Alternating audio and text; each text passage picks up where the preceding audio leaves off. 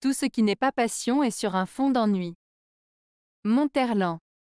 Cette citation signifie que tout ce qui ne suscite pas de passion ou d'émotion forte est ennuyeux ou même déprimant. Autrement dit, lorsque nous ne sommes pas passionnés par quelque chose, nous avons tendance à être ennuyés ou insatisfaits. Cette citation de Monterland met donc l'accent sur l'importance de suivre ses passions et de trouver des activités qui nous passionnent pour éviter l'ennui et la monotonie dans la vie.